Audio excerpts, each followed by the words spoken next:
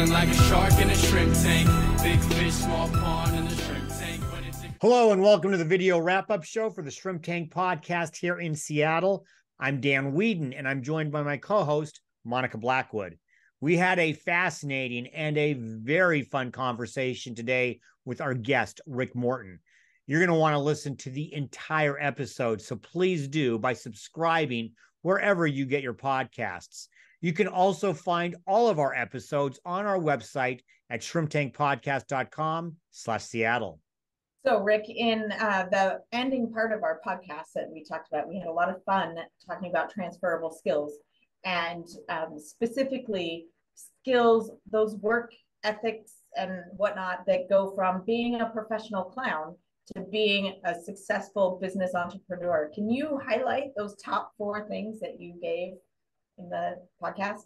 Absolutely. So yeah, when I was 13, my teacher said, "Hey, you'd make a great clown." So I went to San Diego State Clown College. I learned all about what it takes to be a successful clown, uh, character development. Um, but once I got my license, I had to decide I was going to be successful by promoting myself. Uh, so it took a lot of courage just to put yourself out there because obviously you're going to risk being judged or laughed at. You know, I was riding my bike before I got my driver's license down you know la mesa avenue in san diego wearing my clown outfit. And so it takes a lot of courage i think to both be a clown and to be an entrepreneur. I would also say it's going to take a lot of hustle. You just got to work hard.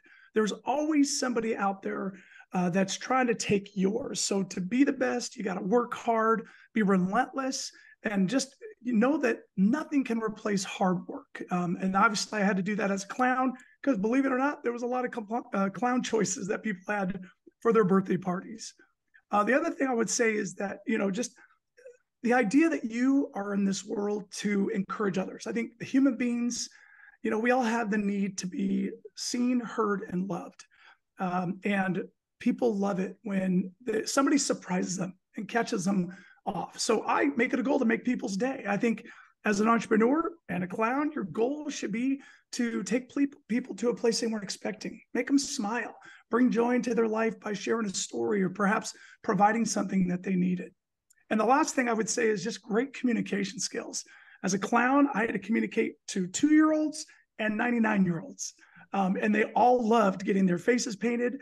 They all loved to get an animal balloon. I don't care how old you are, you were always a kid. But to communicate with your body language, with your words, uh, with your eyes, with your with just your tone. It's a powerful thing to be able to go from acting as a clown and now taking on a business and deciding that your vision, because you came up with your business, but having that vision and then communicating that vision to the world, to letting them know, hey, this is what you're about. So those are what I would say are transferable skills.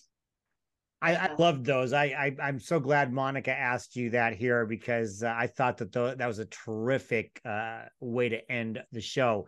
Now listen, you, it was also evident that you have an incredible zest and energy, a passion for working with with schools, helping uh, kids, especially those graduating, and and showing appreciation to teachers.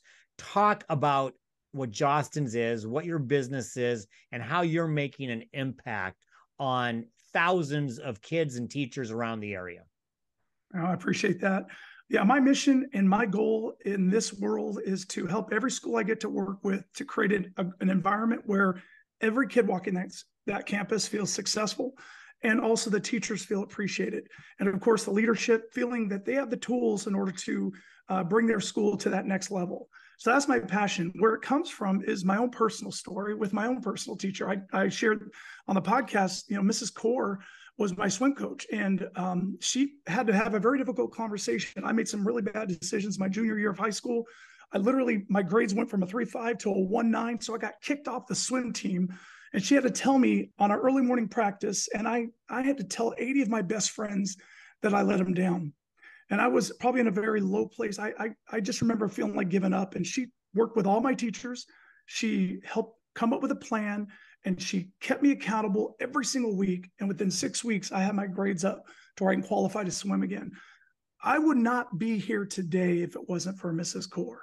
Uh, she truly impacted my life in ways that I just can't even put words into. And I happen to believe that every one of us walking this this earth that has any resemblance of success probably got some help from an amazing teacher. And I, I bet you anybody listening right now can think of that teacher right now who made a big impact. Knowing what I know about us and human beings and kids, everybody's journey is different.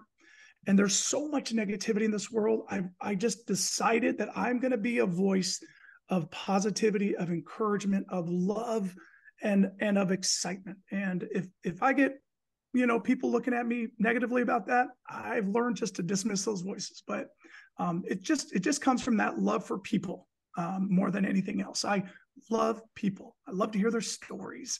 I love to hear what gets them excited, and I love hearing the challenges that they've overcome because I see a lot of that too. So I think that's where that comes.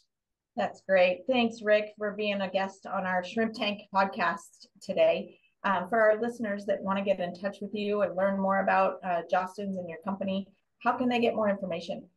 Well, there is a lot of me all over the country. I happen to live in Western Washington, but if you want to reach out, connect with me personally, just email me at rick.morton at jostens.com.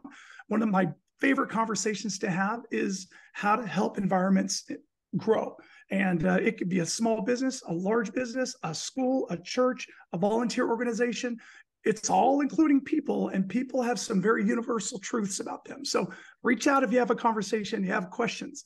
Um, you can also follow, follow us on our social media. We're Jostens South Sound, and we have uh, Facebook, Instagram, TikTok, where we just celebrate the awesome achievements of the amazing students and schools here in our area because we just love being cheerleaders for everybody around this area. So, and if you see me at a Starbucks, say hi. I love I love connecting with my people.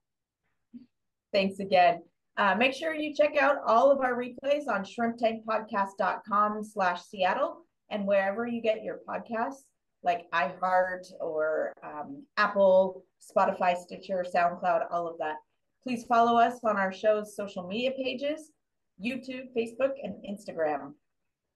Well, Rick, thank you very much. And everybody, you got to listen to the whole show. Rick is fantastic. You got you got to learn how he got he went from a clown to a to a very successful entrepreneur over a uh, what a, I guess that was about a 30 year time period uh, doing great work now. Thanks for for being on the show. Monica as always thank you. Everybody if you enjoyed this video click like and subscribe below. Also please check out our Patreon membership page. It's filled with exclusive content to help grow your business and enrich your life. Go to patreon.com slash shrimp tank seattle and as Monica said, join us every week at 12 p.m. Pacific for our live stream broadcast on our Facebook page. Our next show will be on July 26th. We hope to see you then. Until we meet again, be safe, be well, and be prosperous. Because for right now, the shrimp is back in the tank. So long. I've been feeling like a shark in a shrimp tank. Big fish, small